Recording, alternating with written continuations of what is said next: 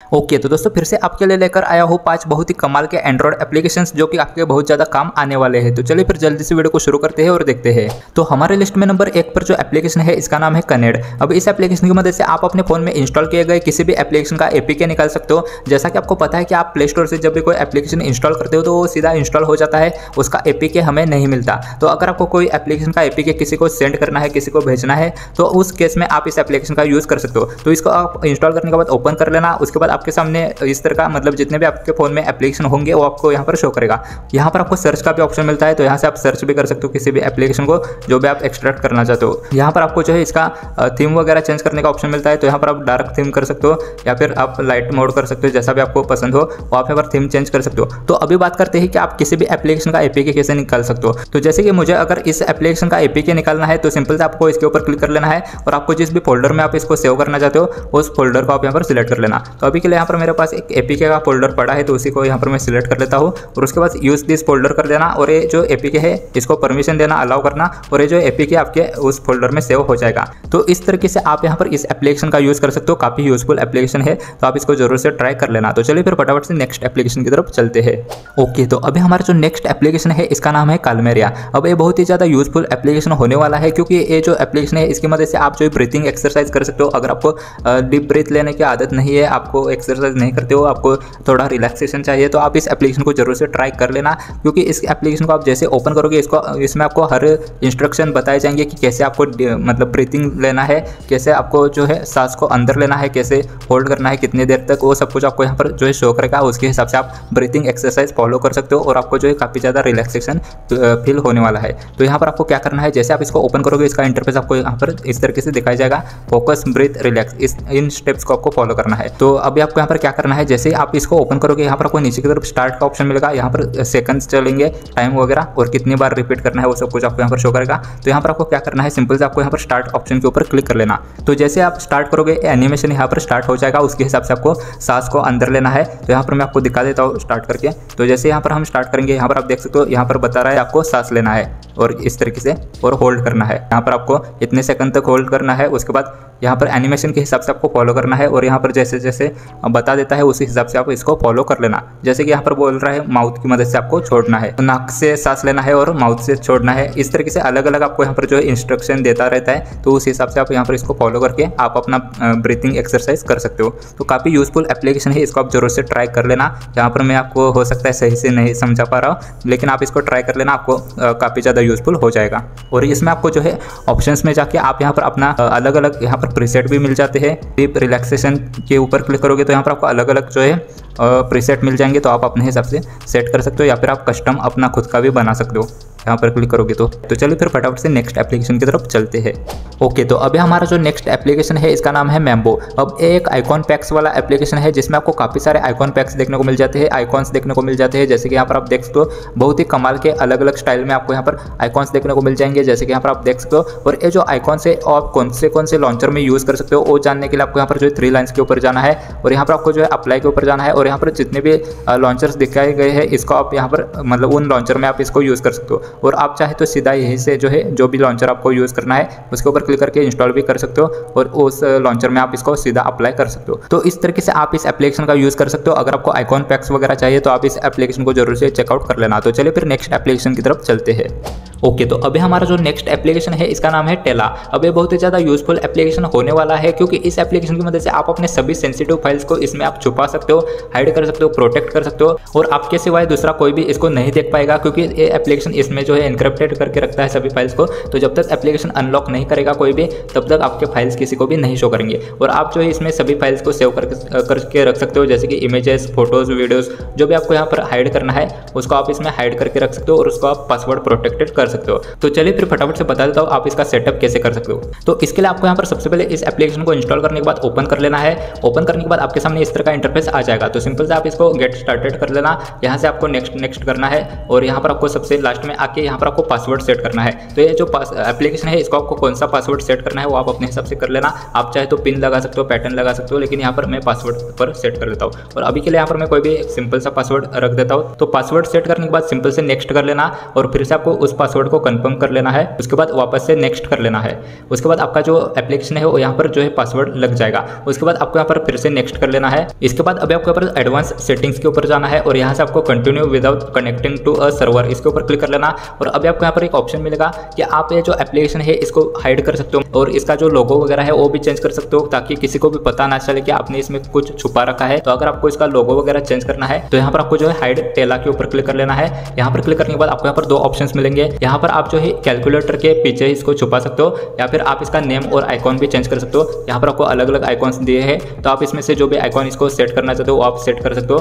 तो आप अपने हिसाब से इसमें सेटअप कर सकते हो। लेकिन अभी यहाँ पर मैं जो इसको छुपाना नहीं चाहता, मैं बस आपको यहाँ पर दिखा रहा हूँ। तो उसके बाद आपको यहाँ पर क्या करना है सिंपल से यहाँ पर मैं बैक कर लेता हूँ। और बैक करने के बाद आपको यहाँ पर जो है डिफ़ॉल्ट लुक के ऊपर क्लिक कर लेना है, अगर आप इसको छुपाना नहीं चाहते तो। उसके बाद सिंपल से गो टू टेला के ऊपर क्लिक कर लेना। उसके बाद ये जो एप्लीकेशन है, वो ओपन हो जाएगा। ओपन होने के बाद यहाँ से आप इसको क्रॉस कर लीजिए तो ये चला जाएगा।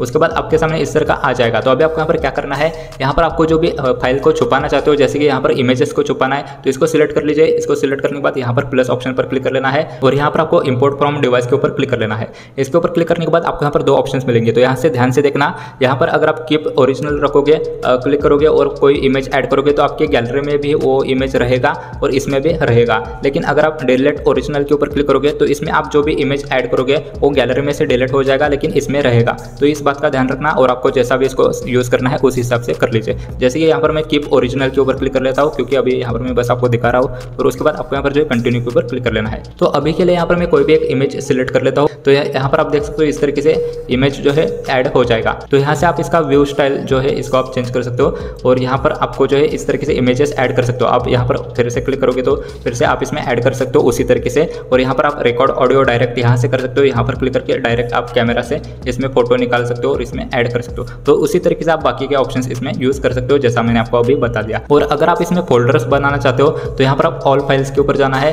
यहाँ पर आपको प्लस ऑप्शन पर क्लिक कर लेना और यहाँ पर आपको क्रिएट का ऑप्शन मिल जाएगा नीचे में। इसके ऊपर क्लिक करके आप यहाँ पर कोई भी फोल्डर बना सकते हो, जो भी फोल्डर आप बनाना चाहते हो, उसमें आप अलग से फ़ाइल ऐड करके रख सकते हो। जैसे कि अभी यहाँ पर मैंने फोल्डर नाम से ही फोल्डर बना दिया तो इसको ओपन करके आप इसमें अलग से फ़ाइल ऐड कर सकते हो। तो बहुत ही यूजफुल एप्लीकेशन है, इसको आप ज़रूर से ट्राई कर लेना। अगर आपको, आपके पास कोई ऐसी फाइल्स है जिसको आप छुपाना चाहते हो दूसरों से तो आप इस एप्लीकेशन को ज़रूर से यूज़ कर लेना। तो अभी हमारा जो लास्ट वाला एप्लीकेशन है, वो एक लॉन्चर है, जिसका नाम है येनी लॉन्चर अब एक बहुत ही कमाल का लॉन्चर है, जिसमें आपको भर भर के फीचर्स मिल जाते हैं। तो इसको आप ज़रूर से ट्राई कर लेना और बाद में आके आप मुझे कमेंट में थैंक यू बोल देना। तो चलिए फिर मैं आपको थोड़ा सा बता देता हूँ इसके बारे में। तो जैसे आप इसको ओपन करोगे, आपका, आपके सामने इस तरह का इंटरफेस आ जाएगा। यहाँ से आप ऊपर की तरफ़ स्वाइप करोगे तो आपको यहाँ पर अलग अलग एप्लीकेशन मतलब हर एप्लीकेशन जो है कैटेगरी के हिसाब से आपको ऑर्गेनाइज मिलेंगे, जैसे कि यहाँ पर आप देख सकते हो। और आप अपने हिसाब से मैनुअली भी किसी भी फोल्डर में किसी भी एप्लीकेशन को डाल सकते हो। जैसे कि अगर मुझे यूट्यूब ये जो एप्लीकेशन है, इसको मुझे अलग कैटेगरी में ऐड करना है तो अभी ये जो है, इस वाले कैटेगरी में है तो इसको मुझे अलग कैटेगरी में भेजना है। तो इसके लिए आपको इसको लॉन्ग प्रेस करना है और यहाँ से आपको मूव टू कैटेगरी के ऊपर क्लिक कर लेना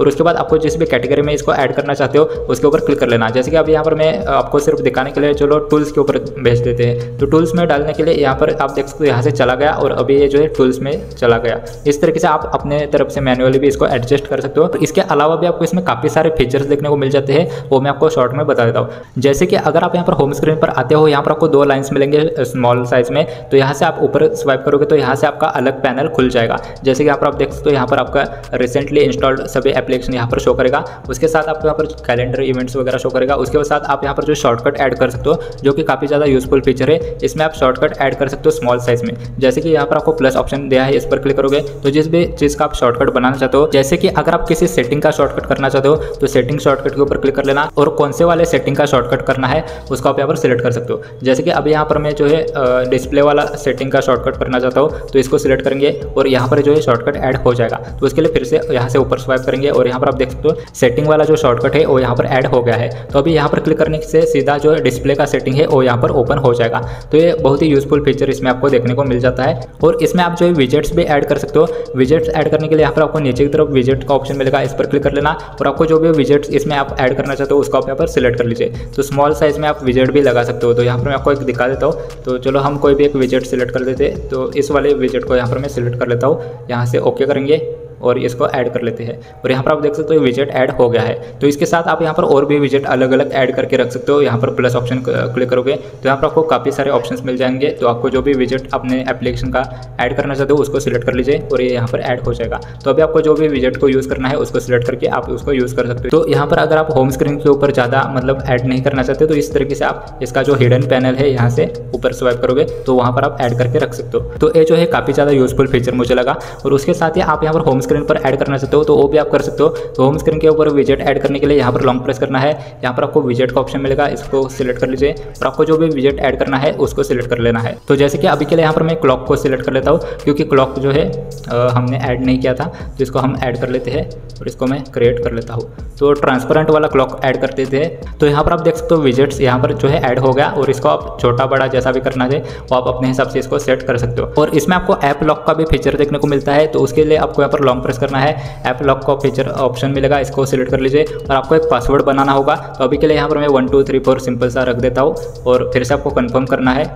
और उसके बाद आपका यहाँ पर ऐप लॉक ओपन हो जाएगा तो जिस भी एप्लीकेशन को आप लॉक करना चाहते हो उसको आप यहाँ पर सिलेक्ट कर लीजिए तो अभी के लिए यहाँ पर हम क्रोम ब्राउज़र को लॉक कर लेते हैं और उसके बाद आपको यहाँ पर जो है लॉक ऑप्शन कर लेना है क्लिक उसके बाद आपका यहाँ पर जो एप्लीकेशन है उसको आप जैसे ओपन करोगे यहाँ पर ये पासवर्ड मांगेगा तो इस तरीके से आप इसमें ऐप लॉक का भी यूज़ कर सकते हो जो कि काफ़ी यूजफुल फीचर इसमें दिया है इसमें आपको एप्लीकेशन को हाइड करने का भी ऑप्शन मिल जाता है तो उसके लिए आपको यहाँ पर लॉन्ग प्रेस कर लेना उसके बाद आपको यहाँ पर सबसे नीचे में हाइड एप्स का ऑप्शन मिलेगा इसको सिलेक्ट करके आप यहाँ पर इसमें कोई भी एप्लीकेशन हाइड कर सकते हो तो यहाँ पर मैं आपको फटाफट से दिखा देता हूँ तो यहाँ पर आपका पासवर्ड एंटर कर लेना और आपको जो भी एप्लीकेशन को हाइड करना है, उसको सिलेक्ट करेंगे और ये यहाँ पर हिडन ऐप्स में ऐड हो जाएगा। उसके बाद यहाँ पर अप्लाई चेंजेस कर लेना। लेकिन अभी यहाँ पर मैं हाइड नहीं कर रहा, बस मैं आपको दिखा रहा हूँ। और अगर आप इसका लुक वगैरह चेंज करना चाहते हो तो यहाँ पर आपको ग्लोबल अपेयरेंस के ऊपर जाना है और यहाँ पर आपको काफ़ी सारे कस्टमाइजेशन के ऑप्शन मिल जाएँगे। आप अपने हिसाब से इसमें चेंजेस कर सकते हो। उसके साथ ही आप यहाँ पर एनी सेटिंग्स मिल जाती है, इसके ऊपर क्लिक करके आप इस एप्लीकेशन का मतलब जो लॉन्चर है, इसका भी सेटिंग चेंज कर सकते हो। इसमें आपको भर भर के ऑप्शंस मिल जाते हैं। तो फॉन्ट वगैरह आप देख सकते हो आइकॉन्स वगैरह